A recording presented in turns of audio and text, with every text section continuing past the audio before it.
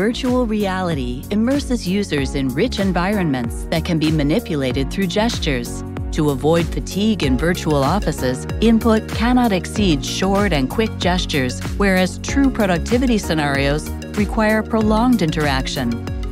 In this project, we move all interaction to surfaces which provide passive haptic feedback as well as an opportunity for rest during interaction.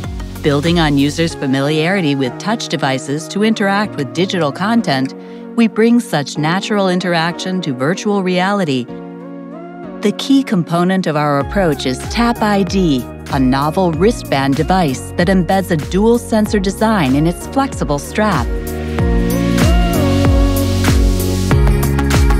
TapID not only reliably detects rapid touch events on the surface, but also robustly identifies the finger used for touch input through a machine learning classifier.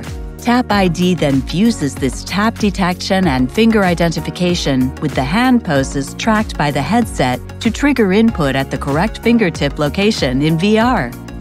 Our system plugs right into a virtual desktop environment where multiple screens surround the user and afford spatial interaction for text entry, as well as for fast and precise alignment operations through cursor control.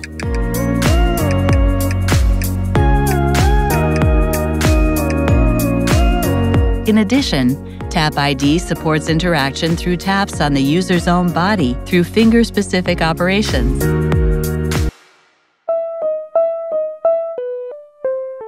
Taken together, TapID brings the familiar modality of bimanual touch interaction to VR using our inexpensive sensing mechanism. TapID seamlessly integrates into existing VR and touch interfaces, enabling prolonged interaction with productivity applications in virtual reality.